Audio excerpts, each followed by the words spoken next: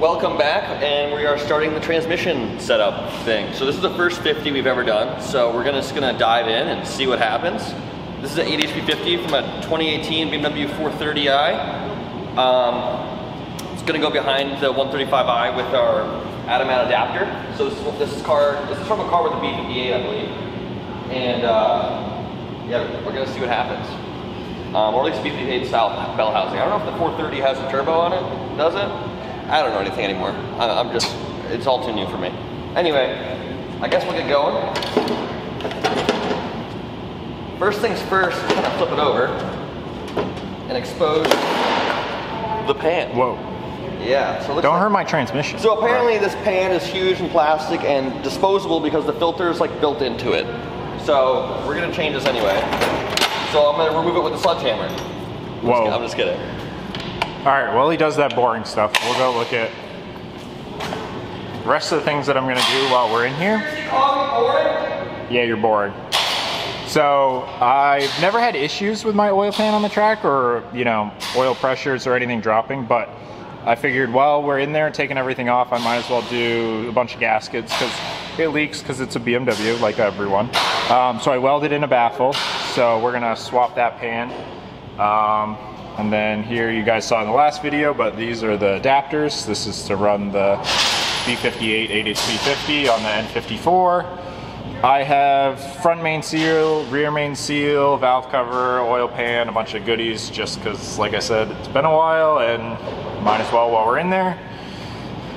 The water to oil cooler for the transmission, obviously the HTG and wiring harness. I have this little separate wiring harness that will have gear display uh, indicator that I'm going to put on the steering wheel. We have transmission cross member. 50-50 if this one's gonna work mathematically. It should be very close, but we'll be interested to see about that. So yeah, I mean, realistically, like other than me doing a few things, this is really just an adapter plate, some cooling, HTG, and wiring. So it's good. This is gonna be super popular on the N54s after we finish this. Everyone loves roll racing, dig racing these cars having the trans brake, just the easy calibration of the 8 HP, like It just makes sense. the community's gonna love this. So I'm super excited to test it out, and you know, with the HTG, we can hold all that power. So not worried about the single turbo life. So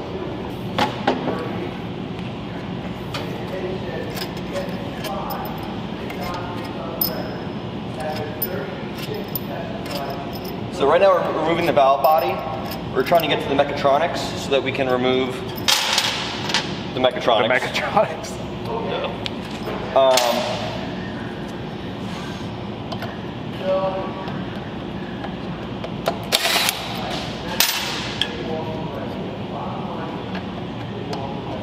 do I know which bolts hold which? I'm Not really sure.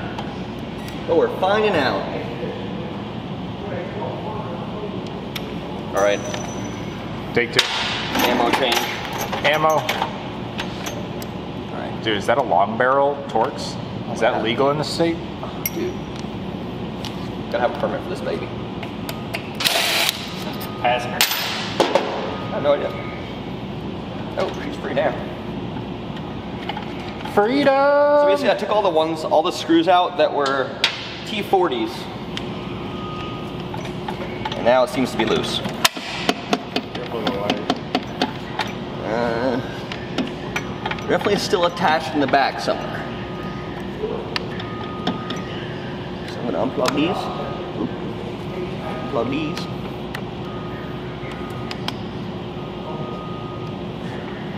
Let me get this thing out of the way maybe first. I don't know what that is, but it's a thing.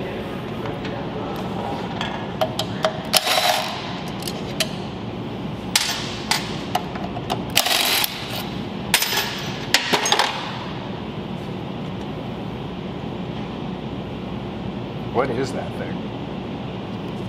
You tell me.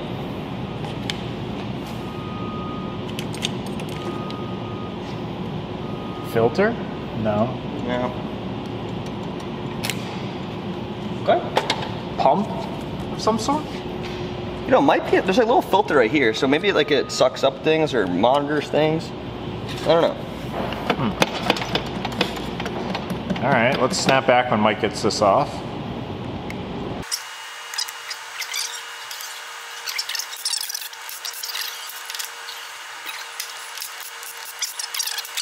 Oh, there we go. That was one of them. All right. Oh, so- was it stuck on the park lock? No, it's, Or it what was, is that spring? It was these. It was bolted to these. Oh, okay. so these two ones were to remove it. So this is the valve body. We're gonna leave this stock. This is essentially what where all the oil flows, and this is the solenoids that control the gears. Um, yeah, pretty straightforward. I wouldn't want to separate this just because you'll probably have to like retorque it or whatever. But we're just gonna put it to the side and worry about that later. We'll go about, we'll go through later and make a guide. Um, This is like the my car video. Just we're getting in there, exploring, and then we have another 8 HP that we're gonna do. That we're gonna make a more technical video on. This is just Yeah. kind of a shit show video to show what's going on. This is exploration. We're so this this right in here is where the chip is that we're gonna solder in. We're gonna cut this open and insert a chip, um, which is available on our online store. Now what this does is allows us to use HTG to control it. Now, I feel like I'm pretty unbolted here. I'm not sure what's holding it in. Maybe it's the connector. Let's push this through. Oh, I do have to go this way because that came out. That's nice. So this is a this is a thing. I don't know what this does. I don't know what that does either. It's a thing though. It looks like a thing. Okay. Now the connector's right here, so we're gonna. Oh, I see what we're gonna do. Now we're gonna unbolt these bolts, and this should be able to go slide in, and then we can take remove it. And we definitely have to disconnect this thing too.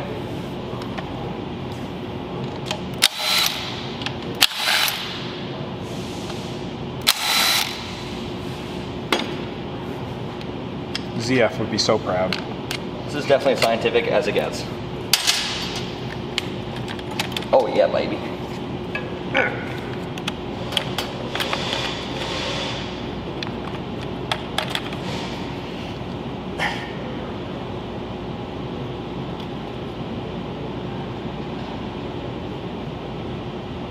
I think I need to get like a little mallet and just like, Just little love taps.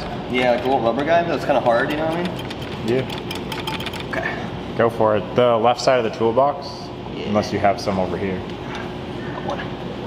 Oh, I'm sweating transmission fluid.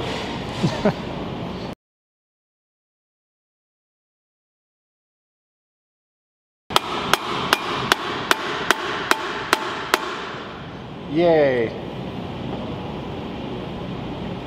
So I found a hammer. Is it moving? Stop moving. Okay, so no hammer is needed.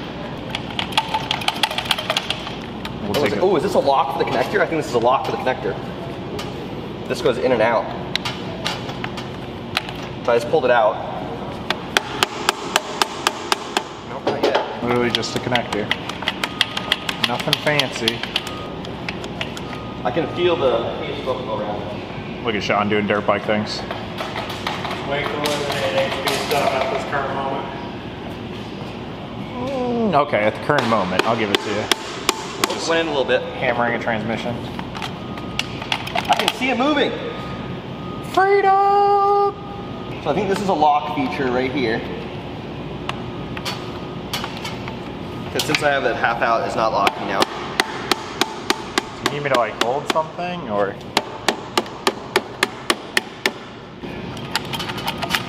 All right, we're gonna actually cut to us figuring this out. We figured it out. So once you unlock that tab in there, this piece actually comes out this way, and then you can remove this this way. So this locks into here with the tab locking it in there. So it wasn't so, the so- hammer? So, the ha- you pull it. You pull, No, you don't want a hammer You pull the connector thing out, and then this comes out. wow, Mike's such a liar. God. So now what we have to do is I give this to Sean because he's he's better than all of us. And then what you do is he, he grinds this. We'll get a little video, but he'll cut this cap open, remove the wires, and put one of the boards we sell in there, which converts this to HTG configuration. But look at this in here. This looks pretty cool. Looks, Kind of disappointing how much you got to take apart. Looks brand new. yeah, looks pretty Here's- naked and afraid. Here's the park lock. Yeah, we're gonna definitely do some fiddling with park lock today because there is no solution for that. So We're gonna figure we're something gonna out. get it to work. How's that actuate factory electronic? No, it doesn't. Well, once there's hydraulic pressure, it opens, but if you have the engine off, it's always in park. Well, that's shitty. And like the park lock that we currently have doesn't work because this pull tab is down towards the ground. Here's a sensor for it. So there was a there's a sensor here, so it has a magnet on it to tell if it's in park or not. So what? Your car physically has to be running for it to come out of park? no, Factory- because we are No, you- engineers and we're gonna make it work. Yeah, but even But factory, that's the current- way. Yes, factory that is. So literally, you get under the car and there's a screw on the side of the transmission that you thread into the lever To, to put it unlock to unlock it when the engine's off. Okay, uh, If you were in an emergency situation. that's so shitty. Yeah. So unless you carry like a Torx and a gun on you, it's pretty shitty. Which I don't think they'll like that at the track. The Chargers had that. You pull You out can that little the- cup holder, You can see the Yeah. and it right had here. the literally a pull cord. You see the clutch pack right here. All right, let's see how. Nope, that's dark hole.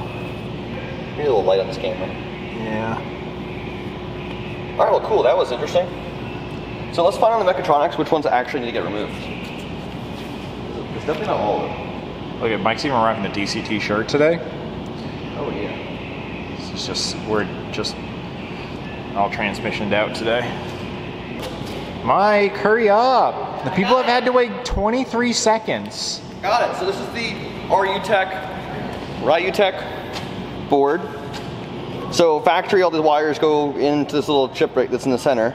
But what we're gonna do now is reroute all the sensors using this board, this PCB board, so it routes all the wires straight to the factory plug. And from the factory plug, you can use our harness to plug into the HTG without any sort of internal like rewiring or anything. You're just gonna plug that in, and it's super easy to solder in.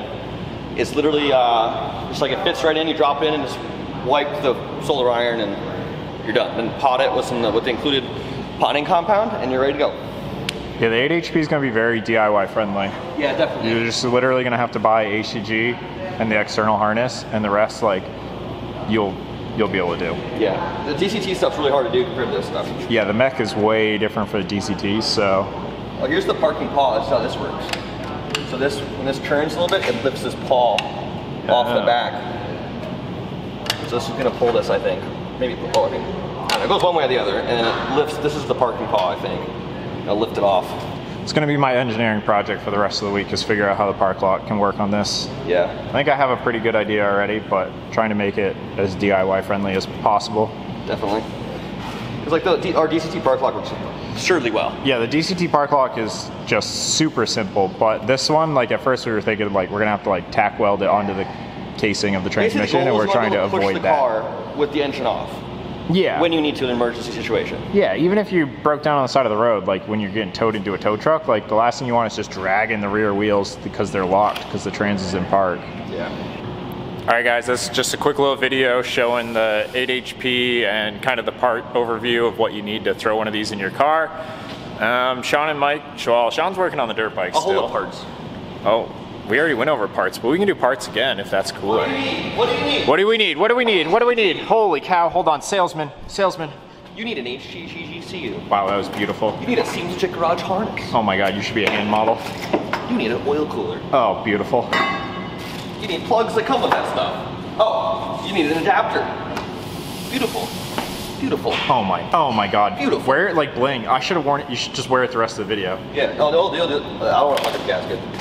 And what else do you need? I don't. Uh, you need. You need a. You need. You need to not have an engine that leaks oil. So add a soda gasket while you're in there. Yeah, I think that's it. Really. Oh, so this this is the manual one. What a DCT No, one? that is the. That is DCT. Yes. So this is a DCT crossover. We think this is going to be so close that we can probably use it. Mathematically, it should work because the manual and the 8HP are the same length, and this sits And this is like- an inch farther back. I mean, this is basically an inch. It's basically an inch. So we're, gonna, we're gonna give it a go. Wor- Worst case, we're gonna like oval out a hole a little bit. yeah, we're gonna keep you posted. You're gonna see that in the next video. Also in the next video, engines coming out. So that's what I'm gonna work on now. Chris is gonna drop the whole thing at the bottom. Then we're gonna yeah, power wash the I'm shit out of this a car. lazy person, so car goes in, undo some subframe bolts, shock towers, and brake lines, and then you just lift the car off, and the engine stays on a pallet on the ground. Yeah. There's like one or two more bolts than that, but you get the gist. So, all right, stay tuned, guys. Catch you in the next one. Peace.